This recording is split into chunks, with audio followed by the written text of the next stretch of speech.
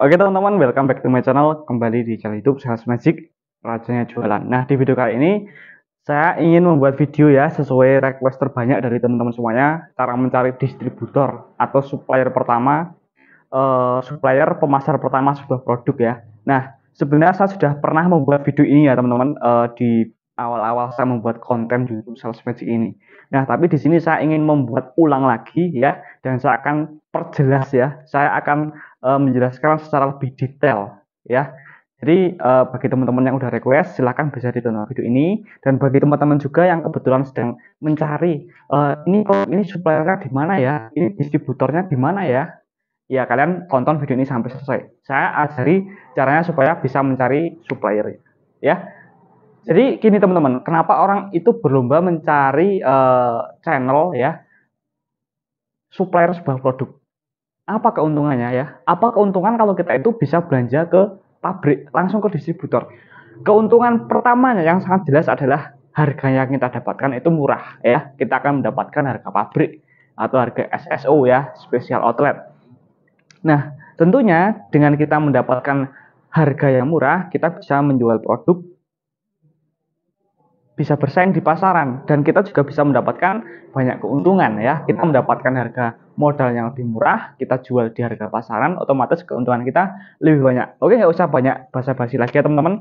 Uh, kita mulai yang pertama ya. Jadi kalau misalnya kalian ingin mencari distributor atau supplier tangan pertama sebuah produk, yang harus kalian lakukan pertama kali adalah kalian pahami detail produknya itu apa. Misalnya, saya ingin mencari distributor deterjen mas. Gimana caranya? Nah jadi gini teman-teman. Deterjen itu mereknya banyak banget. Kalian mau cari yang mana? Deterjen yang Wings Food atau yang KAO atau yang uh, ya atau yang mana? Ya itu banyak banget teman-teman. Soalnya uh, memang di dunia retail itu banyak sekali brand-brand besar ya teman-teman. Dan uh, masing-masing masing-masing brand tersebut itu memang uh, punya produk yang apa ya? Yang bisa dibilang itu uh, sama. Ada beberapa yang sama. Saya kasih contoh seperti ini. Misalnya mas saya itu mau cari uh, produk Multo ya. Nah Multo kan punyanya Unilever ya. Nah kalau Wingswood yaitu kayak uh, Daya itu kan punyanya Wingswood. Jadi kita harus detail. Kita mau cari produk apa ya. Dia harus gamblang. Saya mau cari supplier deterjen yang merek Daya. Nah nanti ketemu tuh teman-teman ya Daya itu nama brandnya itu Wings Food ya. Jadi nanti kita bisa cari uh, di kota kita itu kantor Wings Food ya. Misalnya kalian tinggal di Yogyakarta misalnya, kantor Wings Food Yogyakarta. Ya udah ketemu itu distributornya di situ teman-teman ya.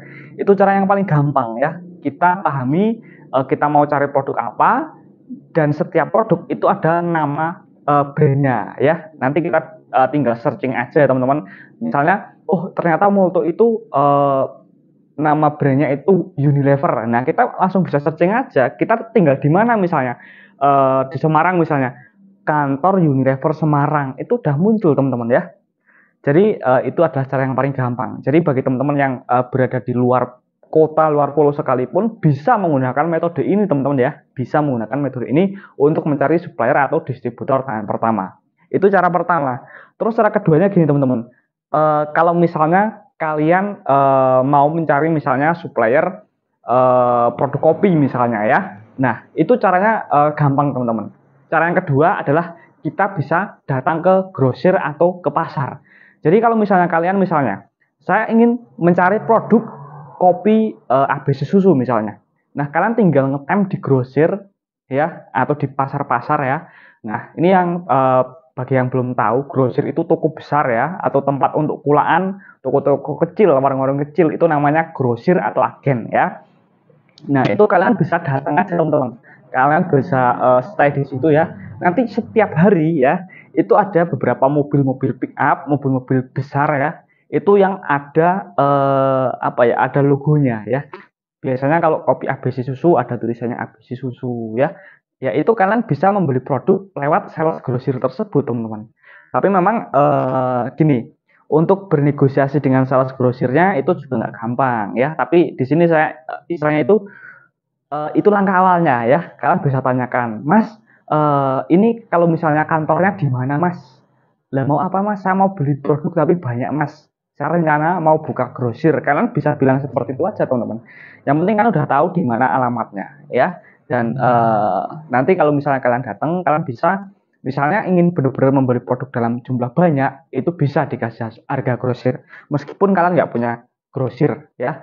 Jadi bilang aja saya pengen jadi trader buat jual kelilingan lagi bisa nggak kira-kira? Gitu. Nah terus uh, apa ya? Selain itu ada cara yang ketiga. Dan uh, cara ketiga ini menurut saya lebih apa ya lebih efektif. Jadi kamu misalnya cari kopi merek ABC susu nih. Kamu datang ke warung misalnya kamu tanya sama pemilik warung mas ini belinya uh, kulanya di grosir atau ada sales ke sini? Nah, nah kalau misalnya pemilik toko jawabnya uh, ini belinya di grosir berarti itu nggak jadi. Nah kalau misalnya ini biasanya ada uh, sales yang datang.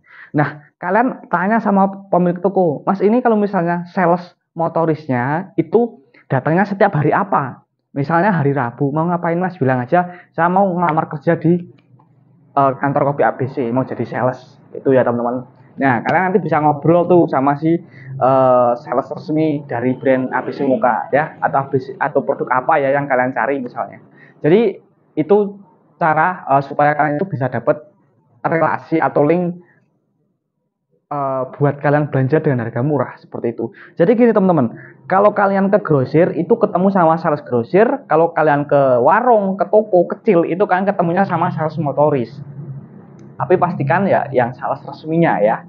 Ini ini ini dengan uh, freelance atau uh, sales resminya mas. Kalau sales resminya uh, saya mau beli mas dikasih harga berapa, mau saya jual keliling lagi atau mau saya jual di toko saya. Seperti itu ya teman-teman itu adalah eh, apa ya hmm, cara-cara untuk mendapatkan kontak distributor ya. Atau ada cara yang keempat teman-teman. Dan cara yang keempat ini sebenarnya cukup gampang banget ya.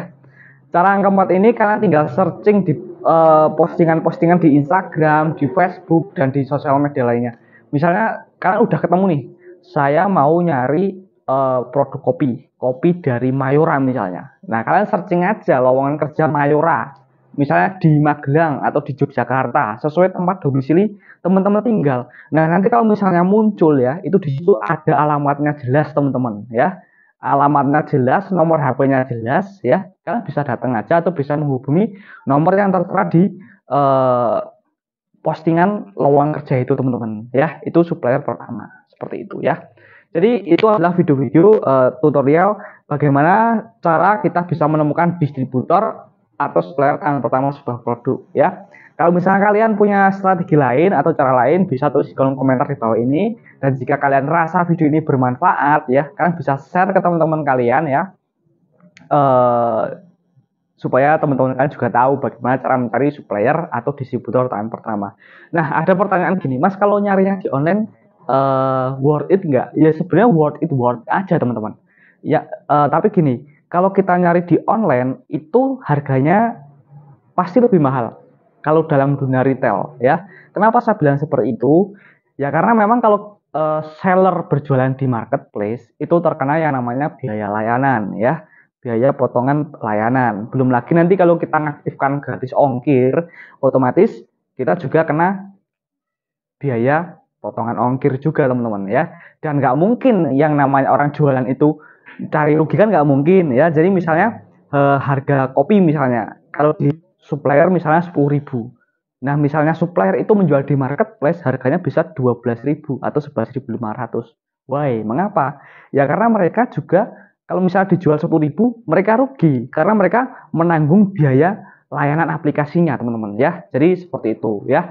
Jadi kalau misalnya uh, video ini bermanfaat sekali lagi bantu share dan dibantu subscribe bagi yang belum subscribe tahun 2024 mumpung masih awal bantu saya mencapai target saya ya di 100.000 subscriber supaya tempat uh, YouTube channel YouTube ini bisa menjadi wadah untuk para uh, sales-sales di seluruh Indonesia ya. Uh, terima kasih, see you next time. Sampai berjumpa di uh, video selanjutnya. Silahkan bisa tinggalkan komentar untuk video ini. Terima kasih.